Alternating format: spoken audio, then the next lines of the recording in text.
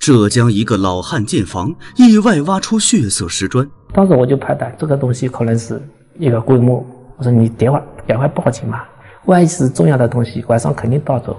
接到消息的考古队立刻赶到钱桥村大坟岗。此时，房子周围已经围满了围观群众，想看看这个房子下面埋的究竟是何方神圣。考古队初步勘测发现，整个古墓长约三米，宽约五米。发现红色砖石的左侧，很快又发现了一副棺木。考古人员推测，这应该是一座夫妻合葬墓，女棺已经破损碎裂，说明其早年就已经被盗。现场一片狼藉，棺内也是空无一物，就连女尸的遗骸也不知所踪，唯有南棺还保存完整，外部的石盖下，里面的红棺。让人看了心生畏惧。清理完已经损毁的女棺后，现场的围观群众已经越聚越多。防止迟则生变，考古人员决定立刻对男棺进行发掘。然而就在这时，一个自称是赵匡胤带孙的男子赶来，阻止考古发掘，还说考古人员挖的是他家祖坟。这又是怎么回事？我是赵匡胤第三十代孙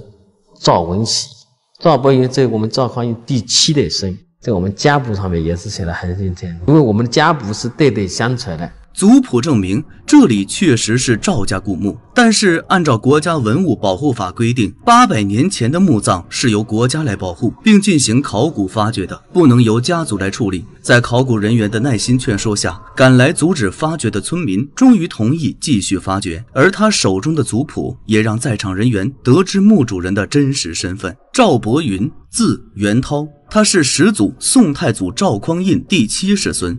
原来七红棺木的主人是宋代开国皇帝的宗亲后世。族谱中对赵伯云最多的记载，就是他在此地当县令时修建一座桥的故事。而他修建的那座桥——五洞石桥，历经八百多年，依旧完好，还在使用。巧合的是，那座桥就在考古队长家楼下，每天都可以看。哎，刚刚一条船经过这。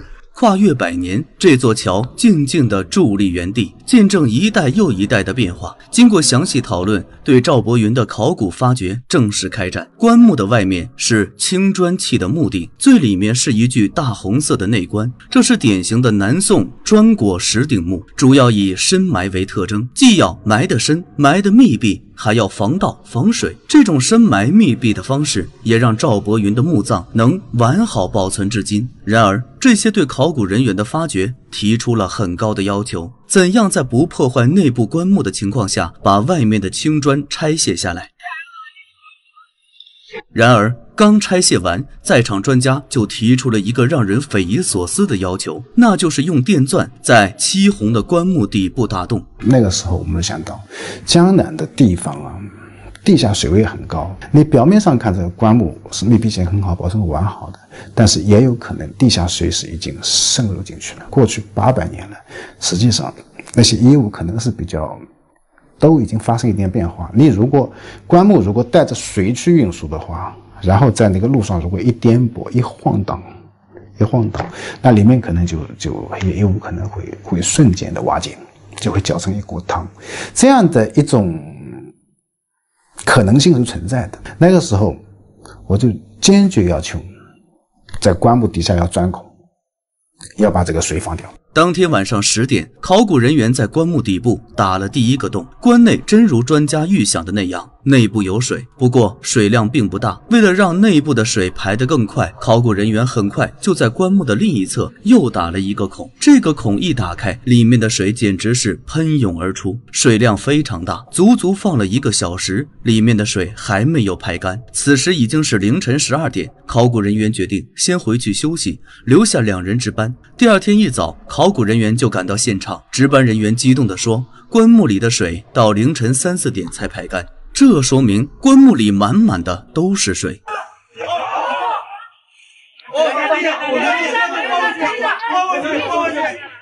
浙江一个老汉建房，意外挖出宋太祖赵匡胤第七世孙赵伯云墓葬。七红棺木中究竟有什么？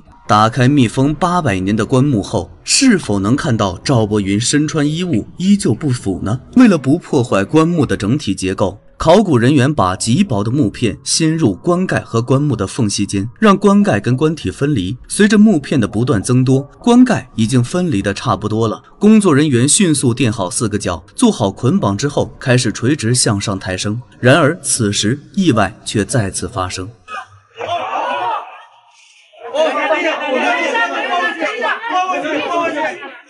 棺木内部像是有什么神秘力量一直牵引着棺盖，让其始终无法打开。再次抬起棺盖，在场专家发现棺盖内部紧紧连着一床丝织被。原来棺木内部的丝织物随着水流的排出，粘在棺木和棺盖之间。如果强制分离，里面的这床丝织物会遭到严重的破坏。开棺工作又再一次陷入了僵局。对棺内文物进行仔细评估后，在场专家决定先用轻便工具对棺内粘连的丝织物进行分离。经过一个小时的小心操作，内棺盖上粘连的丝织物终于被清理了下来，沉重的棺盖也终于被揭开。看到内部的景象，在场人员都长舒一口气。第二天一早，考古人员就抵达现场，将上面打开的棺盖移走，确认好里面所有异味气体都已经被排。排出后，考古人员立刻对棺内文物进行提取和紧急保护，就是跟时间赛跑。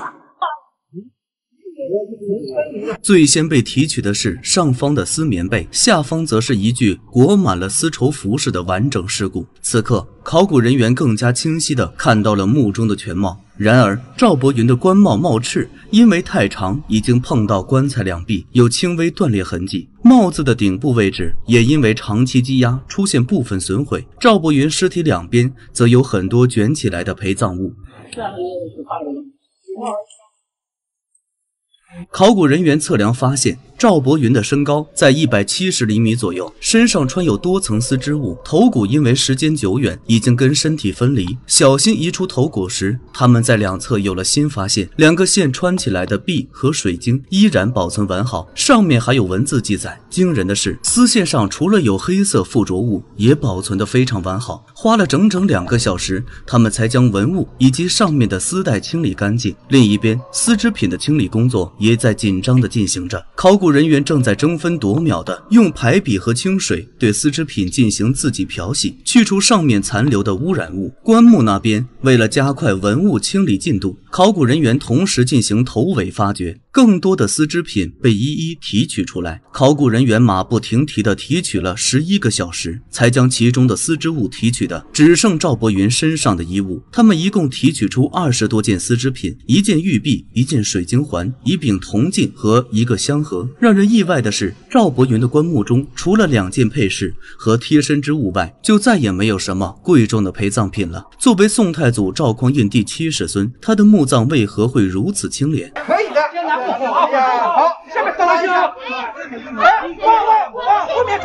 这是宋太祖赵匡胤第七世孙赵伯云的棺木，考古人员正在发掘他的尸骨以及穿戴的衣物。然而，因为已经历经八百年，赵伯云的尸骨早已跟衣物粘连在一起，想要完整分离出来非常困难。如果再耽误一段时间，墓主人的尸体和衣物都会干枯破裂，再也无法修复。为了稳妥起见，考古人员决定先对其进行密封保存，转移到有能力发掘的实验室。这是中国第一个专门用于室内考古作业的天眼系统。进行文物接站工作时，二十四台工业相机会同时开启。顶部支架上的二百零八盏 LED 灯能对整个接取过程进行全方位的三维重建。赵博云的接取工作是这座实验室接到的第一个任务。经过扫描，赵博云身上的衣物共有八层，最内层里，赵博云的双手骨骼深陷层层叠叠的袖筒，如果顺着衣袖抽取。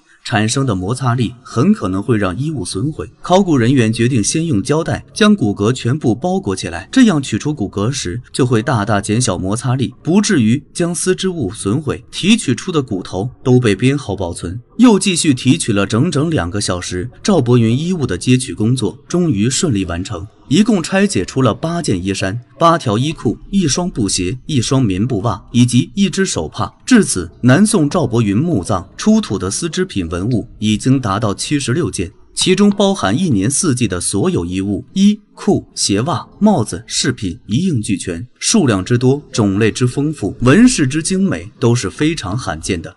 这些文物也被国内外专家称为宋福之冠。